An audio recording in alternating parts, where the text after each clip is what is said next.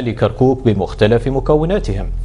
وأكدوا الأعضاء خلال الزيارة إلى مديرية شؤون العشائر في المدينة أن كركوك تتميز بعلاقات التعايش السلمي والأخوي بين مكوناتها وقومياتها.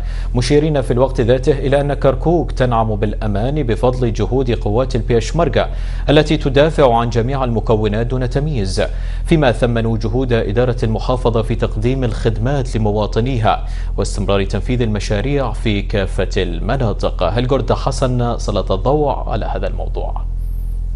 أكد مستشار المصالحة الوطنية الاتحادية ومقرر مجلس النواب العراقي السابق محمد الخالدي خلال زيارته إلى كركوك برفقة لجنة المصالحة الوطنية الاتحادية والتقائه رؤساء ووجهاء العشائر من مكونات كركوك المتآخية أنه هناك تآلف كبير بين مكونات المحافظة مثمنا جهود إدارة المحافظة في استوعاب أعداد كبيرة من النازحين وتقديم الخدمات لهم مضيفا أن قوات البيشمركة هي أفضل قوة نظامية تحارب الإرهاب.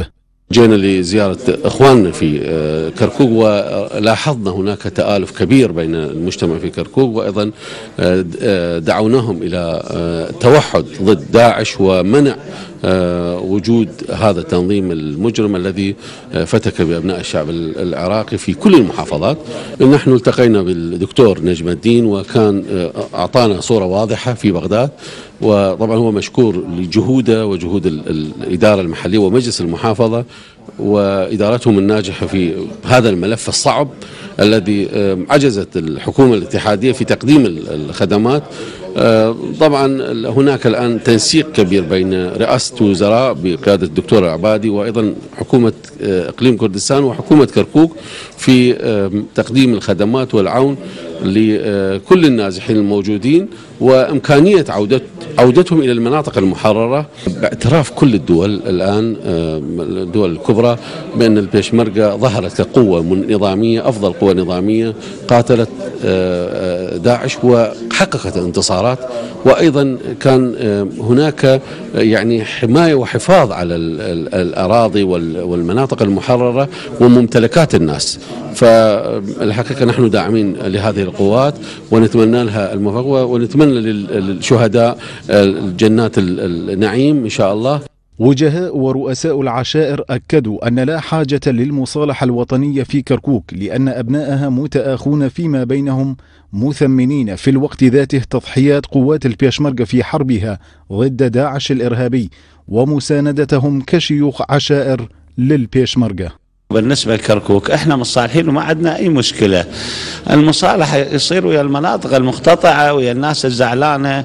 إحنا في كركوك عائلة واحدة إذا العربي إذا الكردي إذا التركماني.